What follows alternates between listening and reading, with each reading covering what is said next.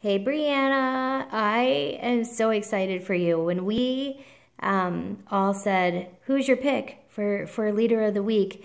Alicia and um, um, Aaron right away were like, Breanna, um, you are going to go diamond, sister. I'm so excited for you. I've never seen anybody work this hard. I know how bad you want it, and it's going to happen. Um, with that being said, out of 470 people, you were one of 24 picked this first week. That's a big deal. Um, and plus, it's just a little personal for me because you're a friend. So um, I'm so excited for you. And I wanted to make this video to personally congratulate you on just everything. Um, and I have no doubt that doing this is going to teach you so much, but it's going to take you way beyond ambassador. You're going black diamond, sister. Um, dream big.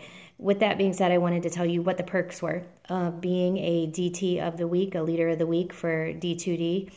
And um, the first thing is you're going to do a phone call with me. All 24 people get on a call, question and answer as long as it takes. I want some one on one time with you guys. The second thing is I'm getting something special made for you guys. I'm going to send it in the mail, so send me your address. Actually, I think I already have it, but just in case, send it to me again. Um, and it will be there. It's just going to take a minute because it's not even going to be ready for another week. Um, and then the other thing is we want your opinion. Anything you'd like to see in a future task.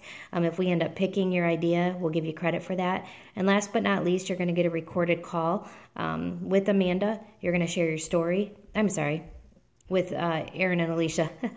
Too many videos. Um, you're going to share your story and tips on that call, and it's going to be a great prospecting tool for you to be able to send out to prospects. So, um, and of course, bragging rights and a cool video and a, and a thingy, um, a banner. So, with all that being said, I just want to tell you how proud I am of you, and I can't wait to see you soon, honey. Um, keep it up. You are going huge places, and I just love you.